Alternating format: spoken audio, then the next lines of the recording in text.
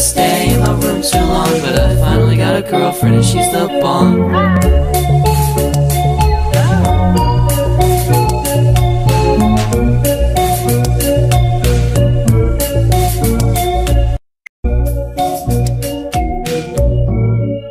I've got a bomb.